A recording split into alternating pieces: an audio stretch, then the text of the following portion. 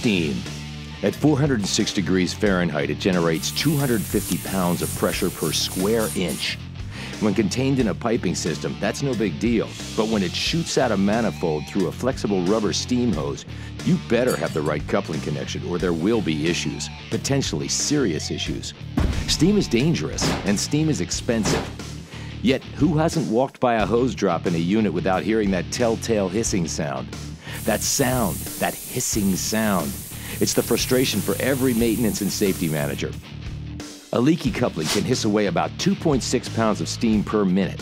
At a cost of $11 per 1,000 pounds, that hissing costs about $41 per day, $287 per week, $1,250 per month, or about $6,200 in a typical steam season per coupling.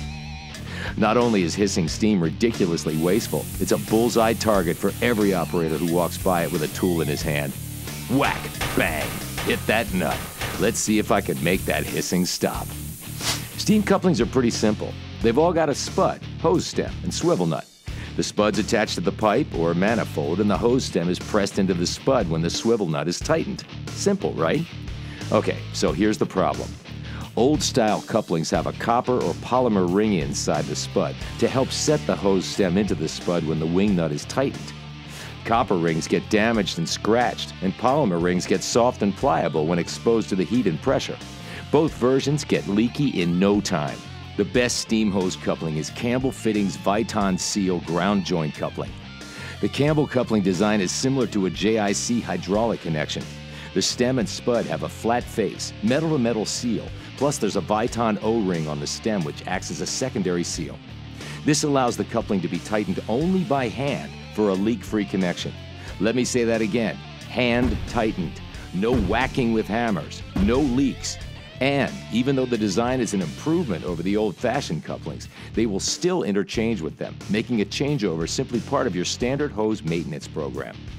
So, now that we stopped the leaks at the coupling, there's still another problem area, the hose connection on the stem. Hoses attached with bolt clamps will leak if the bolts on the clamp are not constantly retightened. So, how often are your maintenance guys retightening clamps? Seriously, how often? Now, what if they never had to retighten clamps? Campbell manufactures crimp-on style, permanently attached ferrules. No bolts to tighten or retighten. No bolts to snag or tear an operator's hand or arm. Also, the bite to the wire ferrule design creates electrical continuity, eliminating dangerous static shock surprises. One more time no bolts, no leaks, no shocks. The ferrules, tested together by Campbell and hose manufacturers, surpass the arduous 1,000 hour MILH 29210 steam test. Not only do they pass the MIL test, They've been battle tested in the field for years. In fact, at a cost of $6,200 of wasted steam per leaky coupling, our Viton seal coupling saves the petrochemical industry nearly $500 million a year. Every year. Now that's real money. Finally, one more piece of important information. In addition to everything else, Campbell also invented the only live steam male threaded swivel fitting. The live steam swivel allows for easy installation of crimped steam hose into plant or onto steam wands or tools. No more awkward twisting and manipulating the hose. The fitting uses the same crimp-on ferrule hose attachment as the ground joint coupling. No bolt clamps, no leaks. Remember, when it comes to improving safety and saving money, there is a better way. Call Campbell Fittings. We can bring your steam problems to a fitting end.